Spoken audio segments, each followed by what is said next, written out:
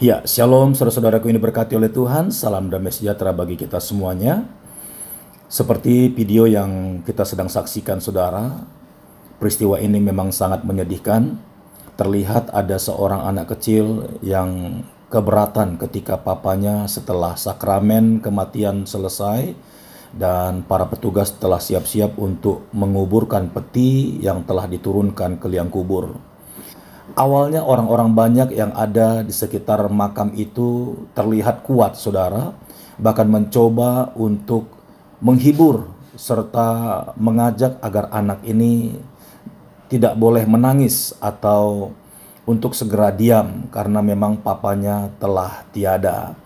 Tetapi apa yang terjadi saudara melihat anak ini histeris dan sangat keberatan serta minta tolong kepada orang-orang bahkan yang menguburkan ayahnya agar papanya jangan dikuburkan. Apa yang terjadi saudara? Justru karena melihat anak ini, akhirnya semua orang yang ada di sekitar itu yang menyaksikan peristiwa ini jadi menangis histeris karena iba dan kasihan melihat cinta dan kasihnya anak ini kepada papanya yang telah tiada.